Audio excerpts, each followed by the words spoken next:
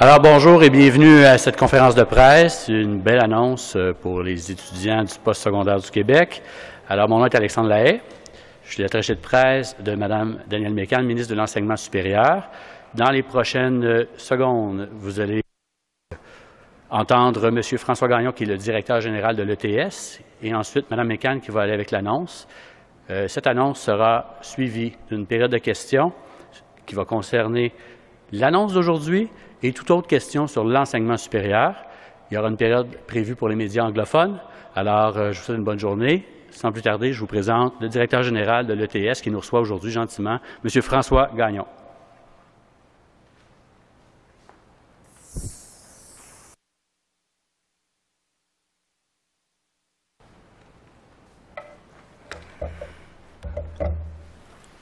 Ça ne sera pas très long.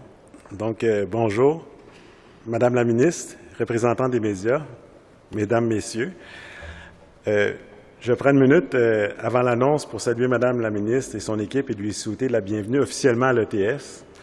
il s'agit de la première annonce de la ministre depuis sa nomination à l'enseignement supérieur, si je ne m'abuse. Et puis, nous sommes très honorés que vous ayez choisi à l'ETS pour le faire. Bienvenue. Euh, loin de moi l'idée de vous replonger dans vos anciennes responsabilités, mais vous verrez que l'ETS prend très au sérieux la santé et la sécurité de, sa communauté. Notre campus est sécuritaire et toutes les mesures d'hygiène et de distanciation sont mises en place. Je dois vous dire qu'on a eu une équipe exemplaire à cet égard qui a toujours été présent. On n'oubliez pas qu'on a fabriqué des masques. Hein, nos laboratoires étaient encore euh, en pleine action pendant le gros de la crise. Avant de vous céder la parole, je voulais vous mentionner que nous nous trouvons aujourd'hui dans le pavillon E, au cœur du campus de l'ETS, et un des grands, l'ETS qui est un des grands incubateurs d'entreprises innovantes. Le pavillon E est aussi nommé entre nous la maison des étudiants. À l'estage où se trouve le service des stages, nos étudiants doivent effectuer des stages obligatoires en entreprise durant leur bac. Et même avec la crise que nous connaissons et le ralentissement du marché de l'emploi, près de 1000 étudiants stagiaires partiront en stage cet automne. Il y a encore un grand appétit pour nos stagiaires et même en situation COVID, nous ne satisfaisons pas encore à la demande. À l'arrière se trouve le tout nouveau pavillon D, dédié au club étudiant, qui est une grande fierté de l'ETS. Ils, ben, ils faisaient des compétitions partout dans le monde et ils gagnaient quasiment tout le temps. Il y a aussi une œuvre d'art public à l'arrière, un nouveau parc qui est créé par l'artiste Ludovic Bonny, qui est tout euh, récemment installé, et puis c'est le premier grand parc du campus. J'aime parler du campus qui se développe et des infrastructures mises à la disposition des étudiants. C'est la fin de la session d'été actuellement et l'ETS est maintenant prête pour la rentrée à l'automne. Nous poursuivons notre enseignement à distance et de façon hybride, c'est vrai. Mais je veux aussi que nos étudiants puissent demeurer connectés avec leur campus, la culture universitaire et pour profiter de tous les services offerts la cafétéria, le gymnase, la bibliothèque, les clubs étudiants, en mode virtuel, mais aussi en mode présentiel. C'est dans notre ADN, les ingénieurs ont besoin de travailler en équipe, de trouver des solutions pratiques à des problèmes ciblés, de participer à des grands projets de société. C'est notre mission depuis 45 ans. Le TS, c'est le génie pour l'industrie et c'est le savoir toujours en action. Donc, la pandémie est une opportunité d'innovation pour les ingénieurs que nous formons. C'est le temps pour eux de prendre part à ce grand projet de société et de relance économique du Québec. L'ETS forme 25% des ingénieurs du Québec et toutes les industries et les entreprises des Chinois en ont grandement besoin. Merci d'être ici. Je laisse la parole à Mme Macan.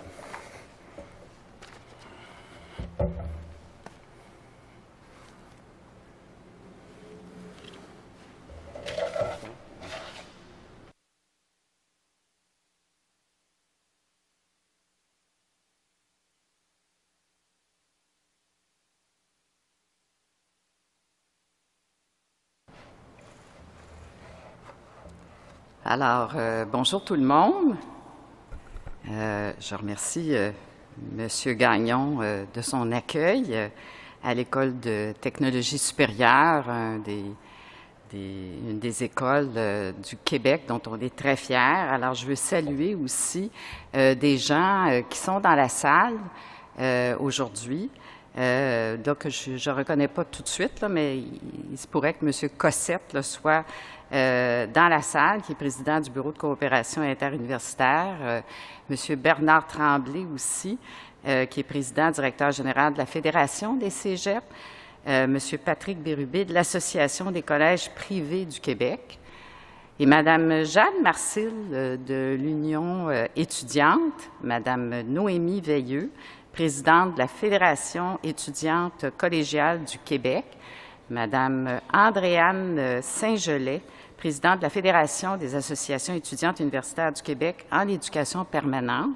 Et j'ai aussi avec moi le sous-ministre à l'enseignement supérieur, M. Bernard Matt, et euh, M. Alexandre Poulain aussi euh, est dans la salle. Il représente euh, la députée de Saint-Henri-Sainte-Anne, Mme Dominique Anglade. Alors, je veux saluer aussi les membres des médias. Alors, Mesdames et Messieurs, l'accessibilité et la poursuite des études postsecondaires pour les étudiantes et les étudiants du Québec, ça, c'est une priorité de notre gouvernement les étudiants ont été ébranlés par la situation inhabituelle euh, de la COVID-19.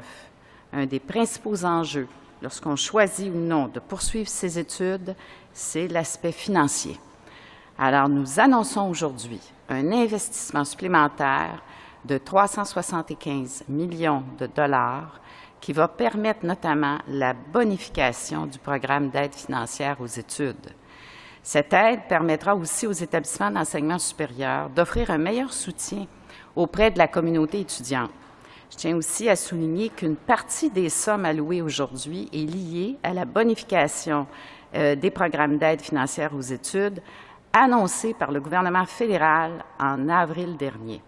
En tout, c'est 300 millions qui vont servir à bonifier le programme d'aide financière aux études et cette aide va être répartie de la façon suivante. 200 millions pour la bonification temporaire de frais de subsistance pour l'année 2020-2021 et 90 millions pour des bonifications permanentes au programme de prêts et bourses, 10 millions pour l'augmentation permanente de l'allocation euh, pour le matériel d'appui à la formation. Je tiens à préciser qu'on ne va pas réformer le programme actuel de prêts et bourses. On modifie plutôt les paramètres pour être en mesure de verser l'aide financière à temps et ajustée aux besoins de chacun des bénéficiaires. Concrètement, on va élargir le bassin d'étudiants admissibles au programme. On va aussi augmenter l'aide versée à tous les bénéficiaires. En tenant compte qu'un grand nombre de cours devront s'effectuer à distance, l'aide pour l'achat de matériel d'appui à la formation évidemment de matériel informatique, et l'aide mensuelle servant à payer un accès à l'Internet vont être bonifiées.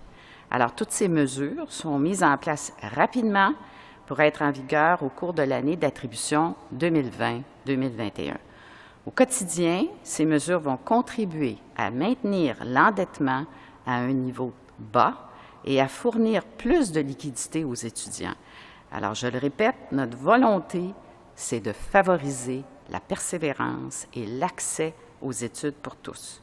On est aussi conscient que la crise sanitaire actuelle et la transition abrupte vers un mode d'enseignement à distance l'hiver dernier, mais ça a pu contribuer à accroître la détresse psychologique et l'anxiété chez certains membres de la communauté étudiante. Alors, on octroie 75 millions de dollars aux établissements d'enseignement supérieur et ce, dès la prochaine rentrée, pour le soutien direct aux étudiants et aux étudiants. Cette bonification est répartie en trois catégories pour qu'on fournisse tout l'encadrement nécessaire à la réussite des étudiants, 35 millions pour le soutien matériel, 30 millions pour l'encadrement pédagogique des étudiants, 10 millions pour du soutien psychosocial. Alors, je veux terminer en parlant directement aux étudiants et aux étudiantes du Québec. Moi, je vous encourage à poursuivre vos études supérieures. Vous avez fait preuve de beaucoup de persévérance jusqu'ici, euh, parce que c'était vraiment une situation inhabituelle que vous avez vécue et que nous avons tous vécue. Alors, on est avec vous, on veut que ça se poursuive. Moi, je pense que les mesures qu'on annonce aujourd'hui vont faciliter votre entrée automnale, vont alléger, je l'espère, vos préoccupations financières. Moi, je vous encourage à poursuivre vos études. Le Québec a besoin de vous et on a besoin de vos talents et que vous puissiez déployer votre plein potentiel. Merci.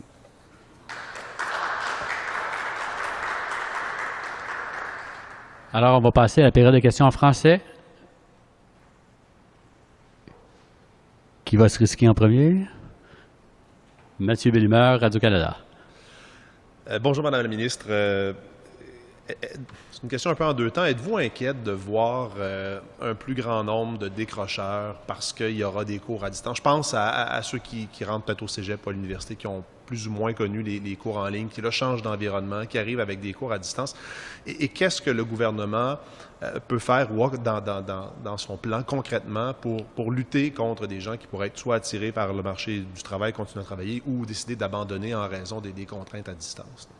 Bien, merci pour cette question parce que, en fait, oui, on se préoccupe de ça.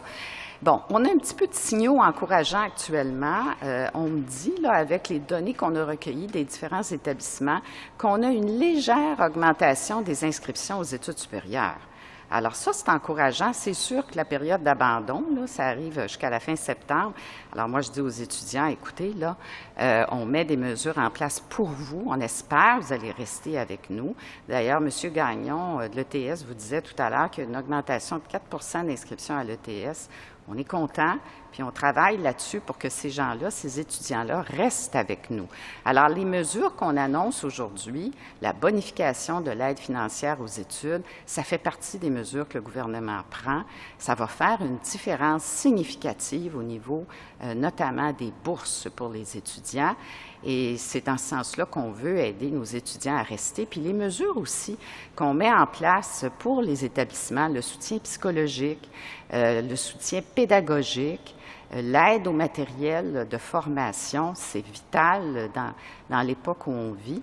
Et les mesures qu'on a mises même dans le passé aux établissements, un 105 millions qu'on a déjà donné aux établissements pour aider à la réussite euh, de nos étudiants. Alors, on continue et je pense que ces mesures-là devraient faire une différence, on le souhaite, et euh, des suivis, évidemment, très systématiques de la part de nos établissements d'enseignement supérieur. Question de, collègues sur la, déclaration du ministre Fitzgibbon. Est-ce que ce serait, selon vous, une bonne chose que des chercheurs en santé ou en intelligence artificielle, qui œuvrent donc dans, dans le domaine, auraient accès aux données de la RAMQ? Bien, vous allez comprendre que je ne ferai pas de commentaires ce matin là-dessus, euh, parce que c'est quand même un dossier euh, qui euh, appartient au ministre de l'Économie et au ministre de la Santé. évidemment, j'aurai des discussions probablement avec eux au niveau de la recherche de nos établissements, mais pour le moment, je ne ferai pas de commentaires. Prochaine question.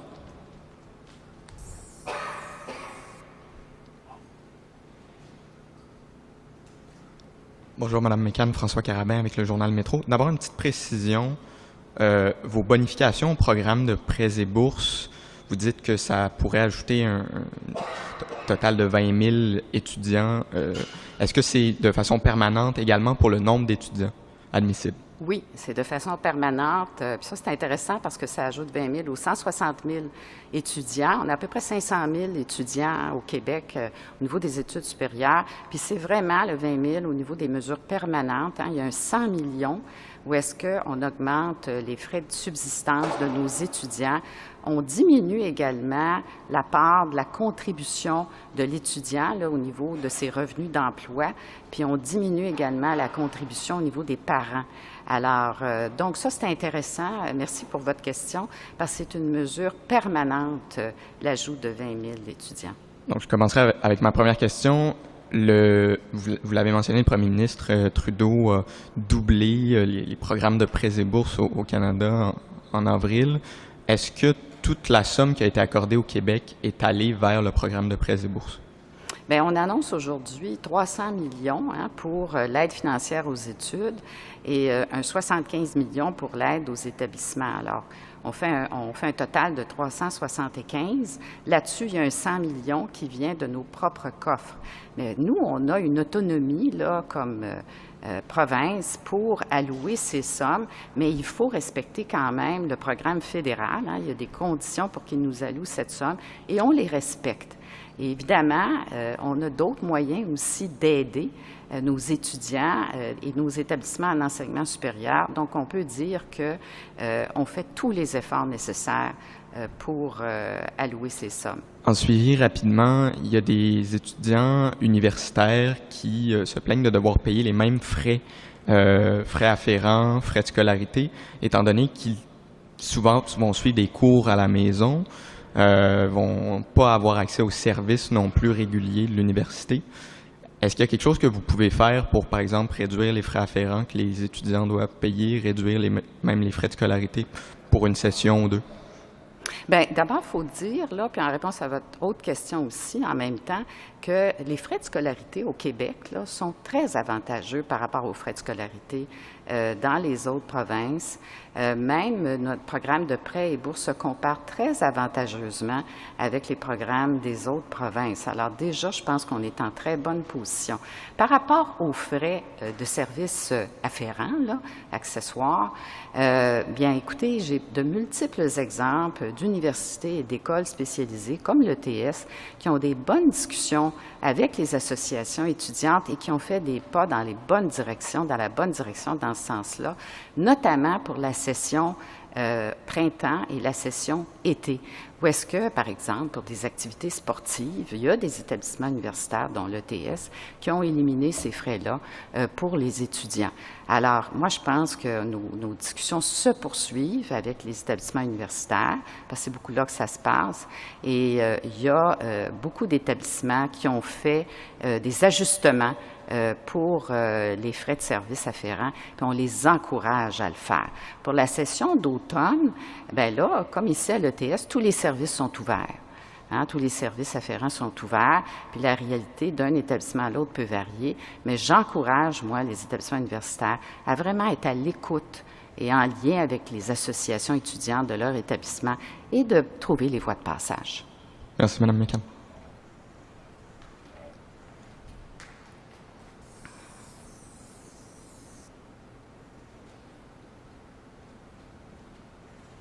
Bonjour. Euh, au cours des derniers jours, on a entendu certains enseignants euh, un peu exaspérés, inquiets de votre silence depuis votre nomination. Beaucoup aussi qui se demandent euh, qu'il n'y ait pas de, mesures comme par exemple pour les plans pour les écoles secondaires, primaires. En cas d'éclosion, qu'est-ce que les enseignants doivent faire pour les établissements d'enseignement supérieur? Est-ce que vous avez des mesures en place? comment vous, prévoyez leur répondre à ces inquiétudes-là? Oui, bien moi, je veux les rassurer parce qu'il y a tout un plan qui a été transmis aux établissements d'enseignement supérieur au mois de juin par mon prédécesseur là, à l'enseignement supérieur, qui est évidemment que vous connaissez, le ministre de l'Éducation, Jean-François Roberge. Alors, moi, j'ai pris connaissance, puis il y a un plan vraiment costaud là, qui a été envoyé en juin. Euh, c'est un plan de la rentrée avec, par exemple, là, euh, des consignes par rapport aux différents services qui sont offerts euh, par les établissements d'enseignement supérieur. Également, un plan d'urgence s'il y avait reconfinement. Euh, il y a également un document de la CNESST hein, qui existe et qui est utilisé par les établissements si jamais il y a éclosion. Moi, j'encourage d'ailleurs les établissements, et il y en a beaucoup qui m'ont confirmé, euh, qui ont des liens très serrés. D'ailleurs, il y a eu la belle annonce des cégeps de Montréal cette semaine, des liens très serrés avec la direction de santé publique de leur région. Alors, tous doivent avoir ce lien-là très concret, très soutenu, parce que s'il y a éclosion, faut appeler la santé publique. Si un étudiant, par exemple, est à la maison et peut avoir des symptômes, et là, il faut qu'il appelle le numéro général, le 877-644-4545, et là, il faut qu'il dise qu'il est un étudiant et qu'il pense qu'il euh, y, y, a des symptômes, et effectivement, euh, la chaîne va se mettre en branle et la direction de la santé publique euh, va faire enquête et va prendre charge de la situation. Ce que je veux vous dire aujourd'hui, c'est le plan de la rentrée il a été transmis au mois de juin. La seule chose qui a changé pour nous pendant l'été, ce sont les masques. Et effectivement, tout le monde doit porter les masques.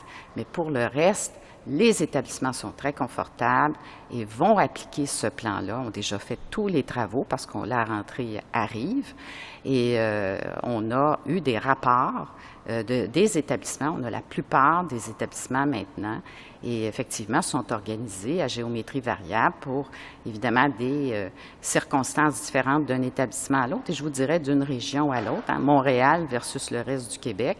Donc un taux de présentiel euh, qui, euh, qui se situe autour de 30 pour beaucoup d'établissements euh, du Québec, et qui a des variantes à Montréal, dans la grande région de Montréal et le reste du Québec, et le suivi des mesures sanitaires, 1,5 mètre de distance dans les classes, le port du masque et toutes les mesures de lavage des mains qui doivent être appliquées. Donc, le plan de la rentrée, il est suivi avec des plans d'urgence, il y aura confinement, puis un plan, évidemment, si jamais il y a éclosion, on veut éviter le plus possible des éclosions, évidemment, en enseignement supérieur. Puis je vous dirais, en terminant, que la transmission actuelle, c'est beaucoup autour des jeunes, entre 15 et 30 ans.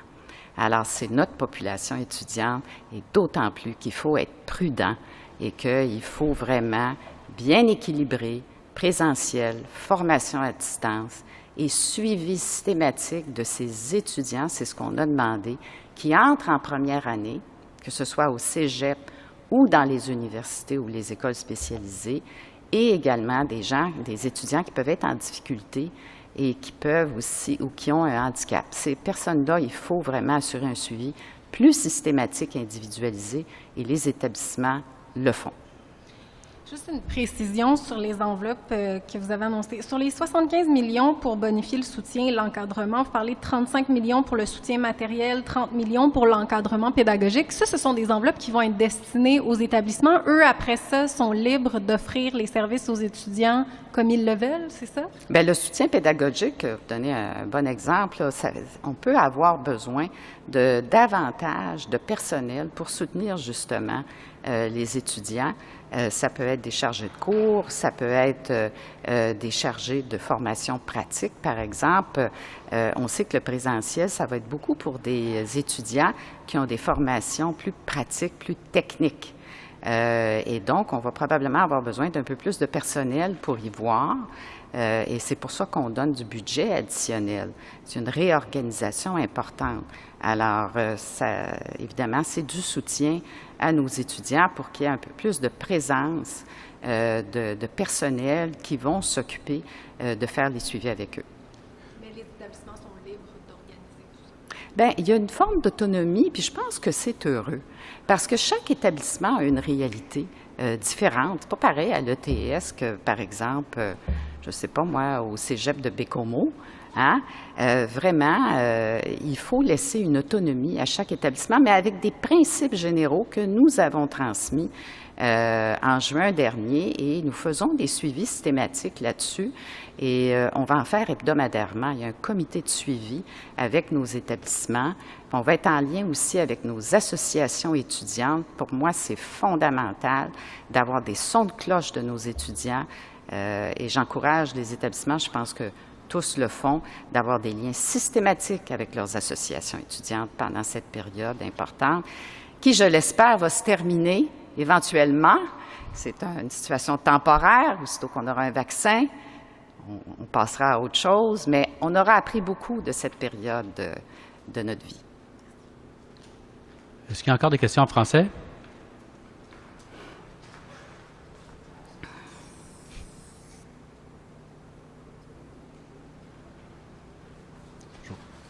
Bonjour, euh, Daphné Cameron, euh, La Presse.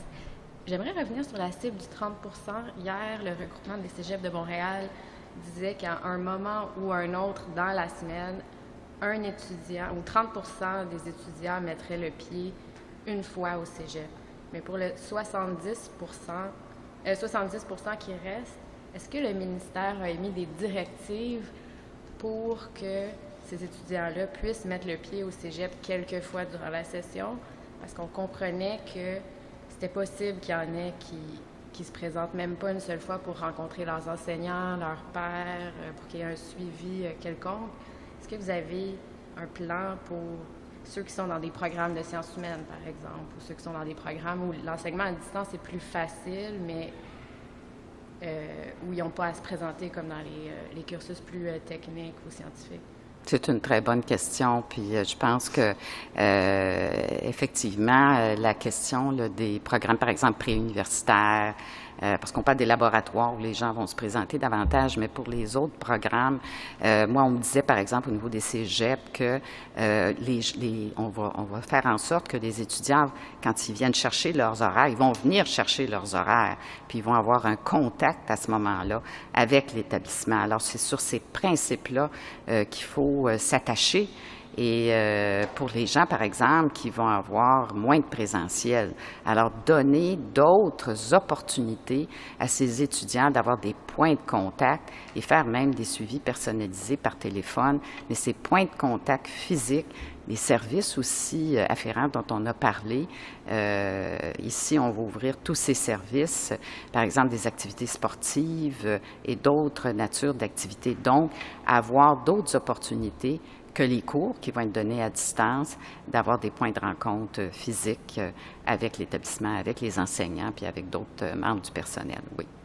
Avez-vous des demandes précises ou des cibles aux établissements pour qu'ils s'assurent que ce soit fait? Parce que hier, on comprenait que Oui. c'est très flou, là. Est-ce qu'ils vont se présenter ou pas? Oui. Ben, écoutez, moi, je vais avoir des contacts quand même assez réguliers, puis notre sous-ministre a des contacts réguliers. Euh, je vais lui transmettre ce point-là qui est vraiment intéressant parce que nous avons encouragé les établissements à faire le plus de présentiel possible. Mais dans le cas où il y aura un majeur en formation à distance, c'est un bon principe de leur dire, et je pense que la plupart vont l'appliquer ou l'appliquent déjà, qu'il y ait d'autres façons d'avoir des points de contact euh, avec les étudiants euh, et de favoriser ces points de contact. Alors, ça va faire partie des suivis qu'on va faire avec eux. Merci beaucoup. En anglais? Parfait.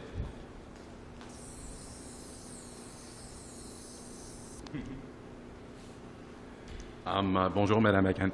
I, I guess the uh, first thing to start off with is there was a, gre- a great question already asked in, uh, in French just about trying to ensure, not only with this announcement today, but encouraging students to um, stay within in higher education because of not being able to access physically, in some cases, coming to school.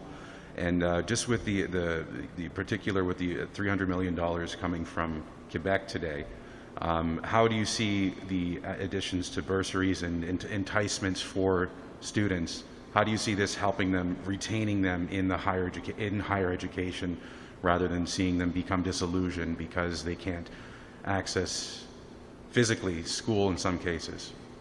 Well, you know, I, I've spoken to a few. I've spoken to the association of uh, students, and uh, I've spoken. I've had also echoes from uh, uh, different students, and sometimes I hear some students say, "Oh, I'm so glad it's uh, going to be at a distance. It's going to give me some uh, freedom." Um, but the um, so it's it's you know it's balance, I would say. And it depends of the school, it depends of the program, it depends also of the situation of uh, the students. But what we're announcing today is a very important uh, factor. I mean, all students would say with reason that the financial aspect is uh, primary. Uh, so that's why we're making uh, this announcement and we want to uh, really help them, help the student to stay in uh, enseignement supérieur we need our students. Quebec needs the students. Uh, the, what we have as a population, about 500,000, is the potential for Quebec to go forward and to have a relance économique and to have innovation. I mean, if you think about l'ETS, but all our institutions, uh, that's what they do. So what I'm saying is that we need our students to put back uh, Quebec in good shape, it will be also because of them. So that's why our responsibility is to shoulder them, and that's what we're doing today. The last question? Yeah, and just uh, following up um, on some of the, th- uh, the things that um, are, no, th- this, there's uh, pockets of this money that are, um, th- that are going to be used uh, for, you know, bolstering the, uh, the amount of it's up to the, the actual institution themselves, but you're able to uh, bolster the amount of, um, I guess, uh, um, employees that are sort uh, that can be used to facilitate um, uh, learning at a distance. You can uh, there's and there's also um, uh, money for more tech. tech we said technology, but really just you know ways of ensuring um, distance education, whether it's through um, pro uh, providing material or more so just in having the the technical infrastructure to allow for um, dis distance uh, distance education. What are the what are the most important things that you see for um, in, ensuring that uh, distance education can be done uh, as part of this? Oh, uh, well, all the uh, financial help that we're giving, we're giving some to the students, uh, you know, for them to have access to internet, have access to material, but also to institutions. Uh, before the pandemic, uh, a lot of us were saying, well, the technology and uh, the, the, training or the work at a distance, hein, le télétravail, it's a way of the future. Now we have to go to a certain extreme with that, but it's going to really help us to develop new ways.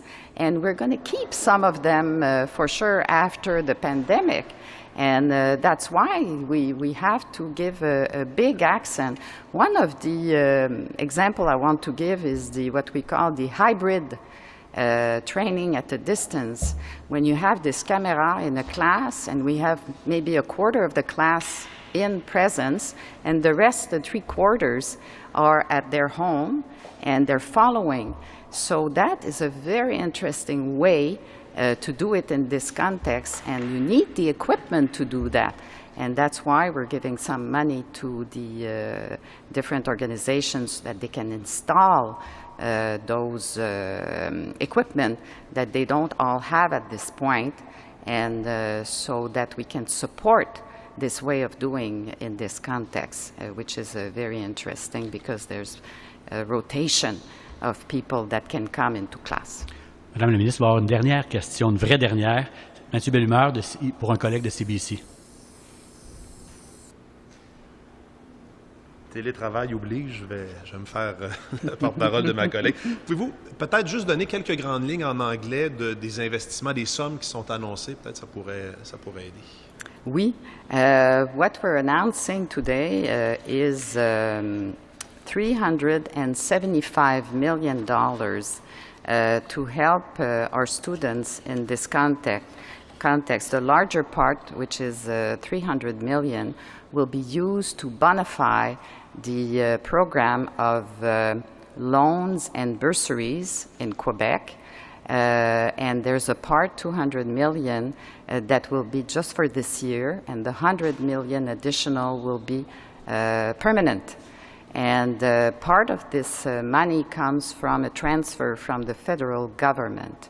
So it's going to have a significant impact uh, for our students, notably this year, but also permanently because the measures we're announcing in the 100 million is uh, really going to stay, and it's going to add 20,000 students that will access to that program uh, for the future. Uh, with bonification in terms of uh, les frais de subsistance, but also the contribution of parents and of students when they've worked will be diminished. And there's another uh, 75 uh, million that will be given to institutions to help them in this context. Uh, part of it with, uh, for the uh, pedagogical, I hope it's a word, support uh, in this context that will be needed and um, the material, the material in uh, computers and uh, technological and also the psychological help to students because we understand that it creates a stress for students and we want to give them more support. And what about student fees? Many students won't be able to use the services and are wondering why they should pay those, uh, those fees to the universities.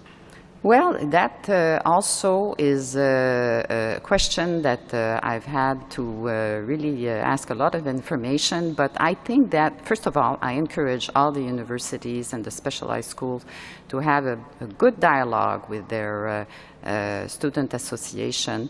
Uh, a lot of them have uh, made adjustments. Uh, we have to distinguish uh, the, the spring, the summer where a lot of them made adjustments, for instance, uh, sports activities that were not given.